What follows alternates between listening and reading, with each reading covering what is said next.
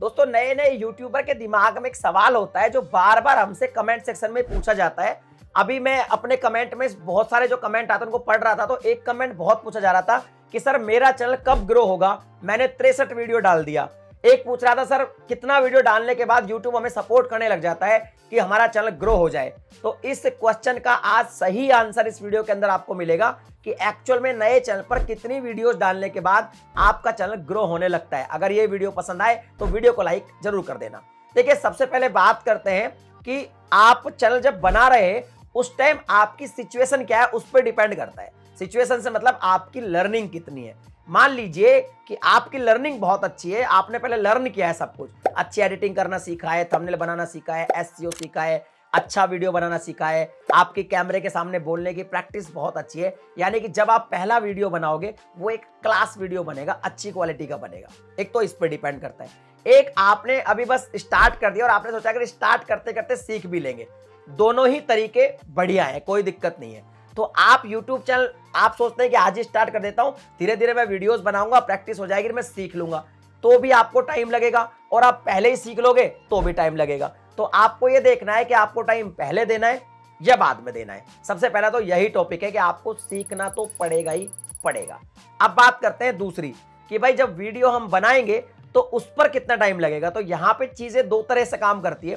एक होता है ऐसे वीडियोस जिन टॉपिक्स पर वीडियोस ऑलरेडी पहले से है।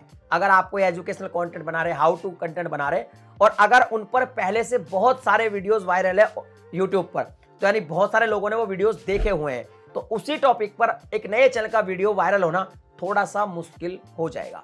लेकिन आप एक यूनिक टॉपिक लेके आए, बहुत ही अलग टॉपिक लेके आए तो आपका थोड़ा इजी हो जाएगा, आपका जल्दी ग्रो होने लग जाएगा। या फिर ऐसा भी हो सकता है कि आपका टॉपिक तो वही है लेकिन आपका जो प्रेजेंटेशन का अंदाज है, वो बहुत नया है।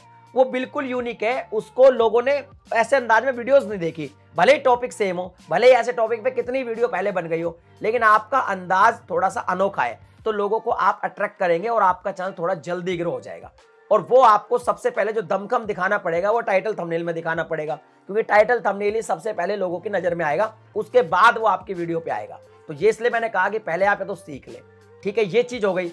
एक ये भी ऐसा भी हो सकता है कि, हो सकता है कि आपका जो कंटेंट है, वो आप बना रहे searching content how to how to पे बना रहे और वही बना रहे जिनको पहले से भी बना हुआ है वो कंटेंट आपका अंदाज भी नया नहीं है, लेकिन क्वालिटी बहुत बढ़िया है आपकी।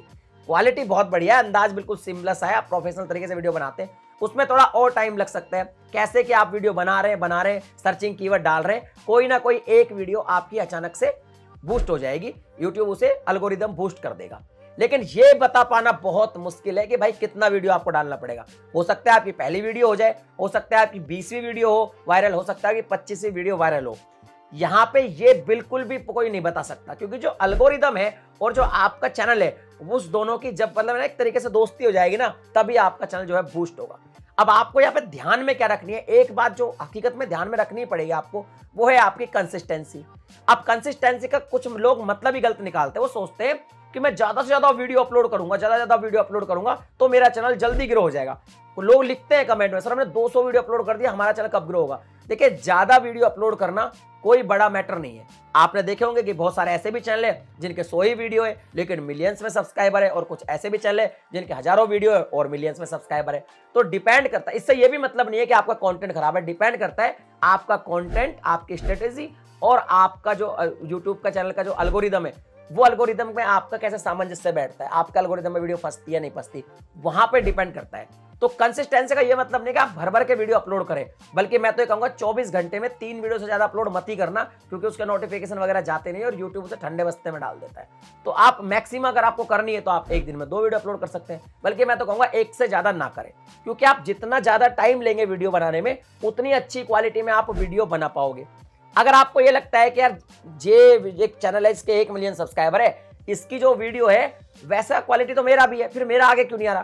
तो भाई, उसने बहुत मेहनत करी और बहुत टाइम से काम कर रहा है उसके आपको मिलियन अब दिख रहे हैं। यानी उसका आपको रिज़ल्ट दिख रहा है। आपने अभी स्टार्ट करिए अब आप एफर्ट लगा रहे हैं। तो कभी भी अपने एफर्ट से सामने वाले के रिज़ल्ट को कंपेयर ना करें। अगर करेंगे तो फिर आप निराश हो जाएँगे। कंसिस्टेंसी का मतलब एक ये कि आप खुद ही सोच ले कि यार, मेरा कंटेंट बनाने में मुझे भाई, एक दिन में मैं बना लेता हूँ तो आप डेली डाल दे। और आपको लगे कि दो दिन में बनाना तो दो दिन में डाल दे वही कंसिस्टेंसी आपको मेंटेन रखनी है। भर भर के वीडियो डालने से कुछ भी फ़र्क नहीं पड़ता। तो इस तरीके से आपको काम करना है और दिमाग में ये चीज़ कभी लानी नहीं है कि भाई कितना वीडियो डालूँगा यार, जो मेरा, जो है चैनल ग्रो हो जाएगा। यानी अधिक वीडियो डालने से चैनल ग्रो होने का कोई भी संबंध नहीं है। आई थिंक अब आपको इस सवाल का जवाब मिल गया होगा और सारी कंफ्यूज जो है आपकी क्लियर हो गई होगी। वीडियो पसंद आई तो वीडियो को लाइक शेयर कर दीजिए। चैनल पर पहली बार है सब्सक्राइब करने के साथ नोटिफिकेशन बेल को दबा के ऑल पर क्लिक करें। इसी तरह का कॉन्टेंट मैं बनाता रहता हूँ। चलिए मिलता है अगली वीडियो में एक नए टॉपिक के साथ। तब तक के लिए जय